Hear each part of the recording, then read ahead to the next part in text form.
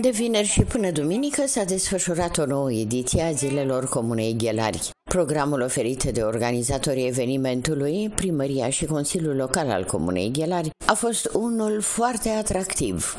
A fost uh, organizat pe durata trei zile, începând de vineri cu un program de seară, un film pentru, pentru copii. Uh, a doua zi, ziua de sâmbătă, a fost, a început tot în jurul, în jurul orelor 16 după masa.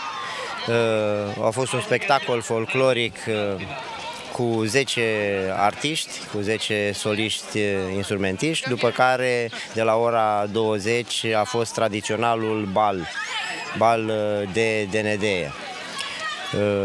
S-a încheiat ziua cu cu focuri de artificii. În ziua a treia s-au desfășurat și competiții sportive, iar muzica de calitate a fost din nou prezentă, fiind asezonată cu bucate tradiționale și licori alese. Totuși, ineditul zilelor comunei ghelari din acest an a constat în faptul că în centrul atenției au fost copiii, care, pe lângă film, discotecă sau cross, au avut parte și de un spectacol de teatru interactiv. Acum ne aflăm uh, aici uh, cu un teatru pentru copii.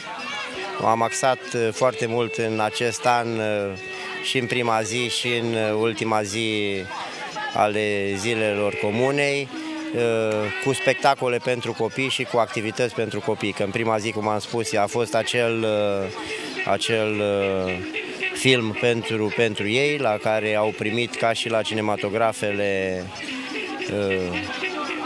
recunoscute din, din țară au primit popcorn, sucuri.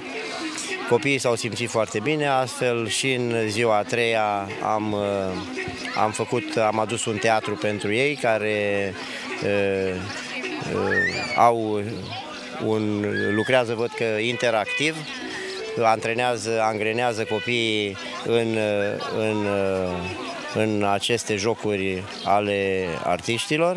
De la manifestare nu putea lipsi celebra fanfară din Ghelari, care este, alături de furnalul de la Govăjdie și biserica din satul de reședință, un brand al comunei.